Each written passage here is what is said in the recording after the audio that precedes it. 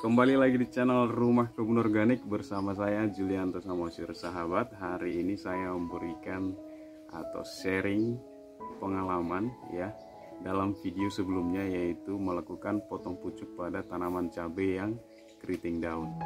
Seperti apa hasilnya nanti kita akan lihat bersama ya.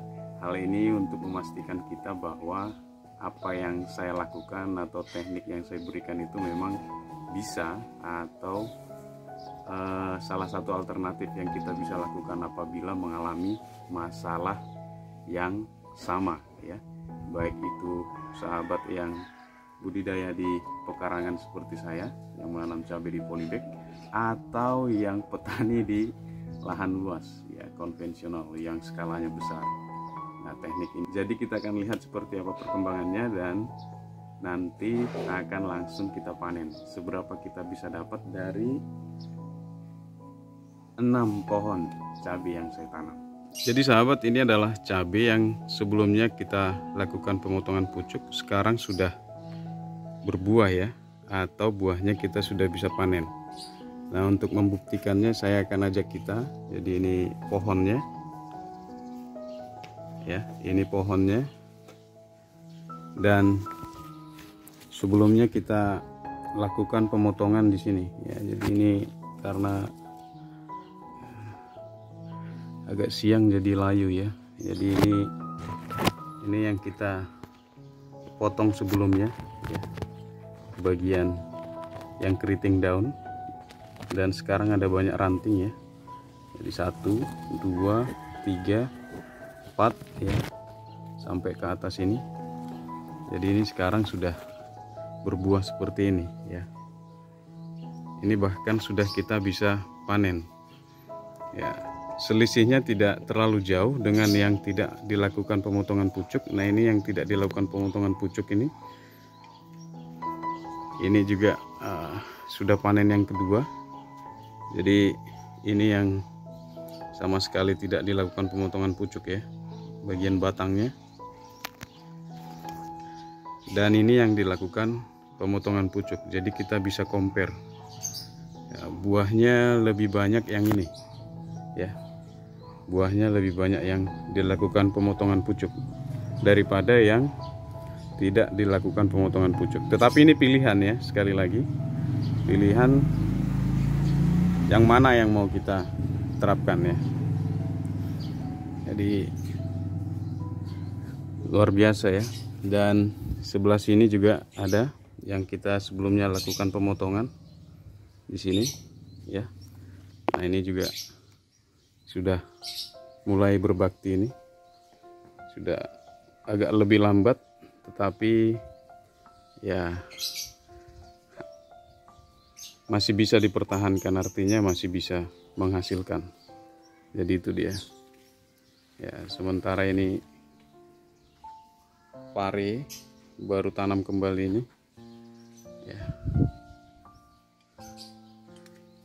nah sekarang kita mau panen cabenya ya. Walaupun lagi murah tetapi cabai yang di rumah tetap lebih nikmat ya.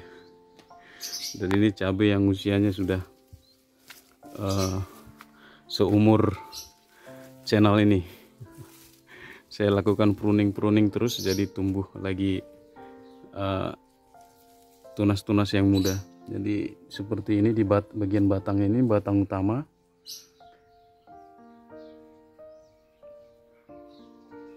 ini batang yang baru ya. Jadi tapi tetap masih memberikan hasil ya, ya dan ini jenis yang berbeda. Cabenya lebih panjang. Kalau ini cabai lokal yang saya bibitin dari dapur. Ini kita mau panen sekarang.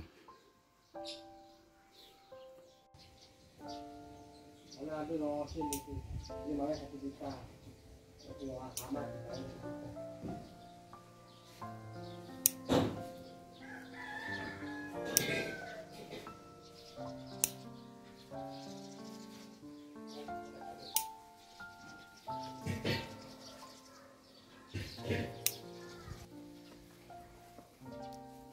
Jadi sahabat saya menggunakan gunting tujuannya apa? Karena kalau kita tarik kadang-kadang pakai tangan itu misalnya seperti ini ya.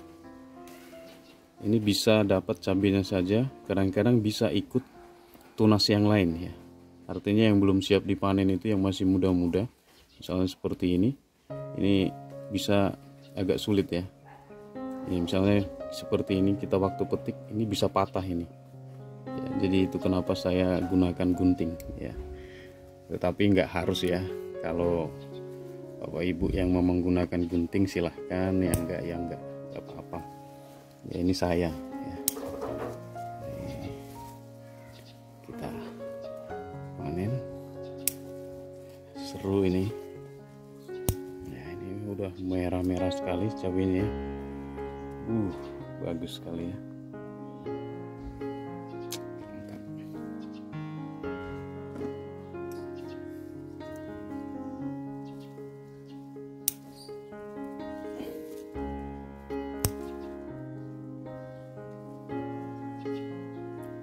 ini ada dua jenis cabai yang saya tanam.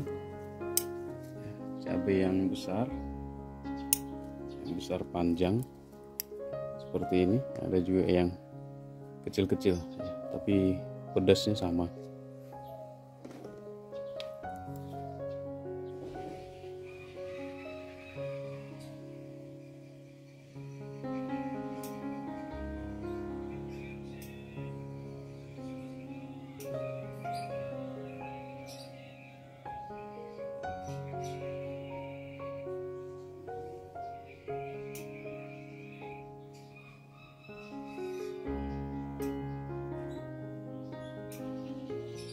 ya jadi ini nanti cabenya bisa menyusul ya.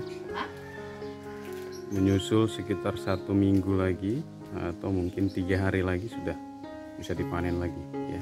Ya jadi segini yang kita bisa panen ya. Lumayan ya kita ambil yang merah-merah saja. Ya nanti kita yang lain nyusul ya.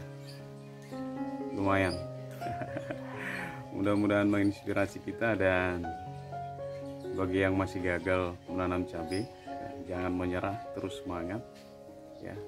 Kalau gagal tanam lagi. Kalau gagal coba lagi. Itu saja rumusnya dan tetap semangat ya. menanam tanaman seperti kita menanam hati kita. Ya, jadi hati kita akan terpaut dengan tanaman ini. Otomatis kita akan memberikan waktu ya. Memberikan segenap uh, tenaga kita untuk merawat dia sampai besar sampai bisa menghasilkan. Saya Julianto Samosir channel Rumah Kebun Organik. Sampai ketemu di video-video inspirasi berikutnya. Bye bye